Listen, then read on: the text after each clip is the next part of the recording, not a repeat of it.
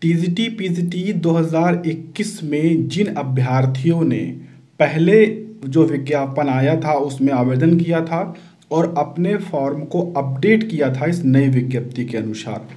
जिन्होंने अपडेट किया, जिन्होंने नहीं अपडेट किया, लगभग समस्त छात्रों के जो प्रवेश पत्र हैं, सात और आठ अगस्त को होने वाली परीक्षा के, वो प्रिंट नहीं हो रहे हैं।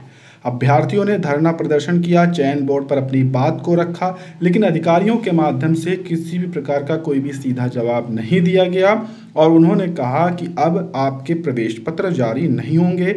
इसी क्रम में अभ्यर्थियों ने नया निर्णय लिया, वो है कोर्ट जाने का। हमने आपको पहले ही सूचना दी थी कि कोर्ट ही एक ऐसा रास्ता है जहाँ से प्रवेश पत्र जारी किए जा सकते हैं। और इसी क्रम में प्रवेश पत्र जारी न होने पर कोर्ट जाएँगे अभ्यर्थी। माध्यमिक शिक्षा सेवा चयन बोर्ड की टीजीटी पीजीटी 2021 की लिखित परीक्षा में तमाम ऐसे अभ्यर्थी हैं जिनका वेबसाइट पर प्रवेश पत्र डाउनलोड नहीं किया गया है।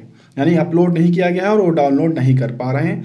ऐसे अभ्यर्थी लगातार चयन बोर्ड पर प्रदर्शन कर अध्यक्ष और सचिव से पूर्व में भरे गए उनके फॉर्म को अपडेट करने की मांग कर रहे हैं, ताकि उनका प्रवेश पत्र डाउनलोड हो सके, ताकि वह परीक्षा में शामिल हो सकें। अभ्यर्थियों ने सोमवार को चेतावनी दी कि अगर चयन बोर्ड उनके प्रवेश पत्र जारी नहीं करता है तो वो हाईकोर्ट जाएँगे।